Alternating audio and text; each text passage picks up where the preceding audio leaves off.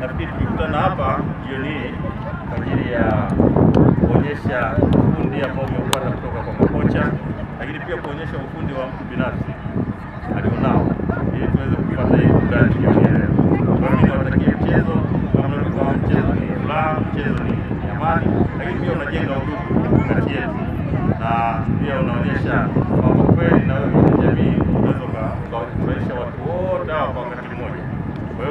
jitahidi sana mcheze mchezo hii kwa kuhakikisha kwamba mnazingatia sheria za mechi zilivyo, sheria za mpira zilivyo, eh, tuweze kuona burudani. Hatutegemei kupata majeruhi eh, lakini lakini tuone ufundi wenu hapa upate ushindi.